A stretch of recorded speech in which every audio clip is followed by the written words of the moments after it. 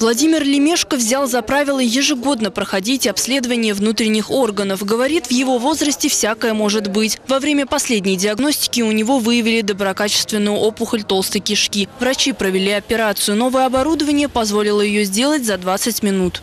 Я здесь 30-го иду. Вчера мы сделали операцию.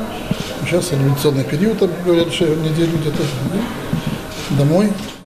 Колоректальный рак – злокачественная опухоль толстой кишки. Сейчас на лидирующих позициях. При этом в последний раз поступление нового оборудования в отделении эндоскопии было 6 лет назад. Сейчас выявить и показать рак органов пищеварения на ранней стадии станет проще. Один из обновленных медицинских аппаратов – видеоколоноскоп. Он позволяет осмотреть толстую кишку с четкой картинкой, которая выводится на экран. Тем самым повышается точность процесса диагностики заболеваний. Кроме того, увеличивается ежедневное количество обследуемых пациентов и сокращается время ожидания в очереди на исследование.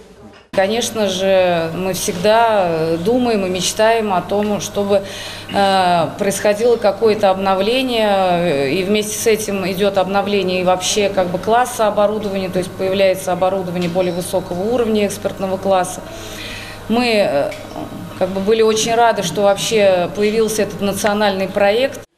Долгожданный подарок медучреждению сделали на средства нацпроекта здравоохранения и регионального проекта «Борьба с онкологическими заболеваниями». В рамках этой программы также запланировано и а, открытие в этом году первого Центра амбулаторной онкологической помощи с его оснащением а, за счет средств регионального а, бюджета, соответственно, подготовка кадров – с момента поступления нового медицинского оборудования было проведено уже свыше 30 операций. Поток в отделении эндоскопии большой. В день обследуется до 100 человек. Из них порядка 50 с подозрением на злокачественное или доброкачественное новообразование. Мэрия Илчан, Григорий Плешаков. События.